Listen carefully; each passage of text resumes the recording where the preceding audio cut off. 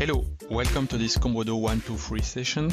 I'm Erwan Taloc, one of the founder of the iTop project, and today I will describe how to run a CSV import in iTop. In my example, I will import uh, some contacts, which are persons in the applications. To run an import, the best way is to export data from iTop in order to get an Excel template, so via the Excel export, for example, and then fill the data in the Excel template in order to load them in iTop. So in my example, I have already few data. I have the header of the column that are the attributes I would like to load, last name, first name, a link to an organization, the status. And I will add additional data to this Excel document. For example, name one, uh, first name one. Okay, and I will just add a few additional items, let's say 50, 50 contacts. I will select the organizations they belong to. For example, a few are in the IT department and the others are in the organization demo.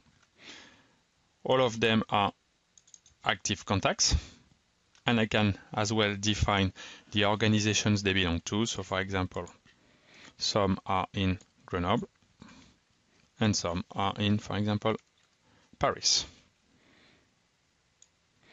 For the purpose of these demonstrations, I can as well move someone for an organization to another, and we will see how the import, CSV import behave.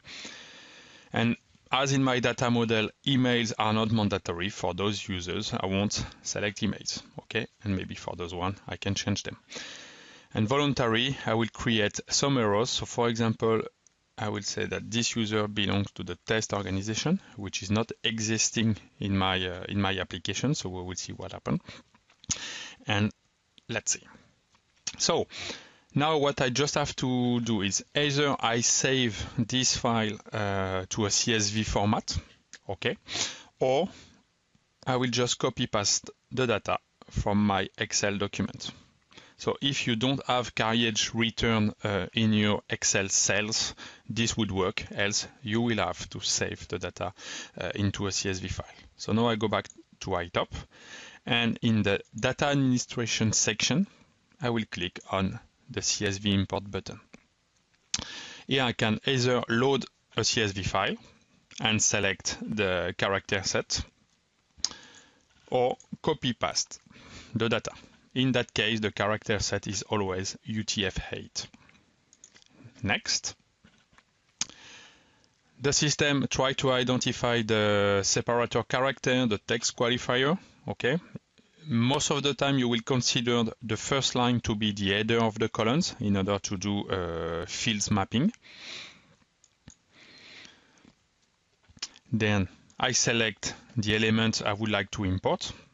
So in my case, it's person. So as you can see, all iTop elements can be imported. The mapping is done automatically because I have the good uh, headers, but if I want, I can change the mapping or uh, in your other fields if I want. I will be able to define the search criteria, so which columns I use to identify uh, uniquely my element in iTop. So in that case, I use the name, the last name, the first name, the organization, and as I've not set emails for all the users, for example, I will uncheck the email. Okay, so I will look for people with the name, the first name, and the organization. Then the system will simulate the import, so the data are not imported, but it will tell me what will be done if I run the import. So some elements won't be changed. Some elements will be updated. For example, for Pablo Picasso, we update the location, so we will move from Grenoble to Paris some are added. And if there is consistency errors, for example, here I would like to link the user name 11, first name 11 to the organization test that is not existing in iTop, the system tell me that there will be an error. So all the lines will be loaded except this one. so now I run the import. The system validates what it will do. And now is updating the database by adding new contacts if they are not existing and updating those that are existing. Here is, here is it. My report is done. And now in my applications, I have not 13 contacts, but a little bit more, 58, that, will be, that are loaded via the CSV import. Thanks for joining these sessions. And now it's up to you to load data in your application.